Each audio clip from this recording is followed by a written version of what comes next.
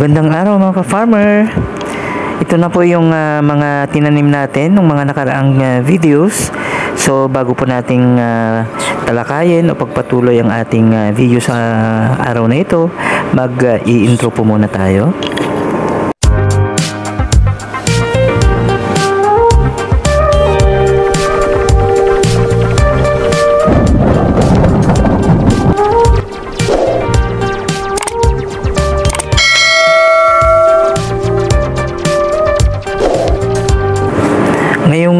Po ay i-update po namin kayo kung ah, ano na po yung ah, ah, nangyari sa ating ah, mga pinunla po na mga ah, sigarilyas, upo tapos yung ah, pichay. Yung ah, upo po after 3 days ay ah, tumubo po pero yung ah, pichay unfortunately ay ah, ni isa po ay walang tumubo. So siguro po yung ah, nabigay po sa ating ah, ah, mga butil ay ah, mga sira o mga expired na po kaya siguro hindi na po nag-germinate. Pero yung ah, linagay po nating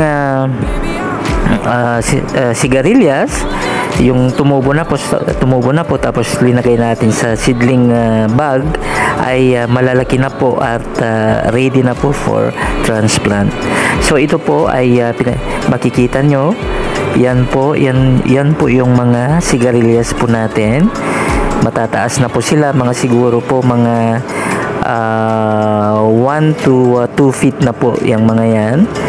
So ah, pwede na po naming ah, i-hardening, expose natin sa araw mga isang ah, isang oras, dalawang oras tapos saka natin ibalik sa partially shaded areas. Maski dalawang araw, tatlong araw na i-hardening natin, ah, ang mahalaga po ay ah, hindi po siya mabigla ah, pag ah, bago po natin itanim sa ah, mga backyard o mga farm po natin. Kasi pagka direct po nating i-transplant ay ah, posible pong ah, ma-stress at ah, posibleng mamatay po itong mga ah, sigarilyas po natin. So, ah, ayan po. ah, may ah, isang linggo na po buhat po nung ah, pinakita po natin yung video kung hindi pa ako nagkakamali.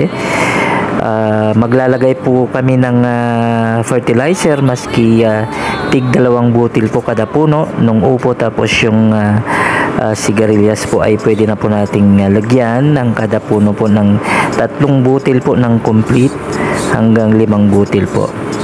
So, ah, ito naman po yung ating mga seedlings na mahugani. So, sa mga nag-avail po, salamat po sa mga ah, nag-order sa amin ng ah, kanilang ah, itatanim na mahugani. Sana po ay ah, mag-order po ulit kayo dahil po ah, mura lang po yung ah, bigay namin dahil kami po mismo yung ah, ah, nagtatanim ng ah, amin pong mga panindang ah, mahogany seedlings. So, ah, mag-take advantage na po kayo mga guys habang mayroon pa po kaming mga stocks dito sa aming nursery. So, ayan po. Ito na lang po yung ah, natitira naming mga stocks na seedlings po ng ah, mahogany. Ito po ay ah, sigurado na pong mabubuhay. Basta lang po ah, regularly po na nagdidilig tayo.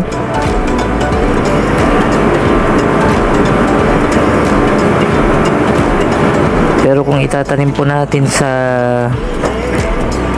sa mga lugar na masyadong mainit, ah, make sure lang po na lagyan natin ng ah, temporary na lilim para hindi po ma-stress. Pwede po tayo malagay ng mga dahon po ng ah, saging, mga ah, dahon po ng ah, niyog hanggang sa ito po ay ah, maka-adapt or ah, ah, hindi po siya mabigla sa ah, tindi po ng ah, ah, init po sa lugar po na pagtatamnan po ninyo. So pagka na ano na po na acclimatize na po siya ng ah, let's say mga 3 to 7 days ay ah, malaki na po yung chance na mabubuhay po yung ating mga tinanim na mahugani. So itong mahugani po after 1 year ay ah, malaki na po yung ah, kanyang puno. Make maghintay tayo ng ah, another te- 10 to 15 years ay pwede na po siyang ma-harvest. So kung gusto nyong mas ah, madami kayong tabla na makukuha ay ah, much ah, better kung maghintay po tayo ng 20 years pataas para yung puno po ay ah, lalong ah, mas malaki po. Tapos ah, maglagay po tayo ng ah, mga pataba o kaya mga commercial fertilizers para mas lalo pong mas ah, malalaki po yung mga puno po ng ating mga mahogany. Ito po yung ah, na-harvest namin na mga guys sa aming farm. Ah, siguro estimate ko dito kasi malalaki, matataba yung mga ah, bunga. Ah, siguro mga 20 to 25 kilos itong ah, dalawang ah, bulig ah, na to. Ang ah, bentahan po ngayon sa market ay 50 po ang isang kilo. So, ah, pag ah, dito kasi sa amin, mga guys, yung mga kapitbahay na rin yung ah, bumibili ng aming mga ah, na-harvest sa farm kasi nga gustong gusto nila dahil matatamis daw, sobrang tamis daw ng ah, mga saging po namin.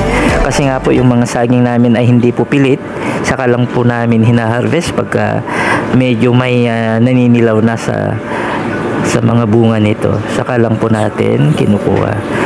So, ah, salamat po sa inyong ah, panonood. Pagka nagustuhan po ninyo, sana po, sana po ay mag-subscribe kayo at ah, i-click nyo po yung ah, noti- notification bell. Maraming salamat.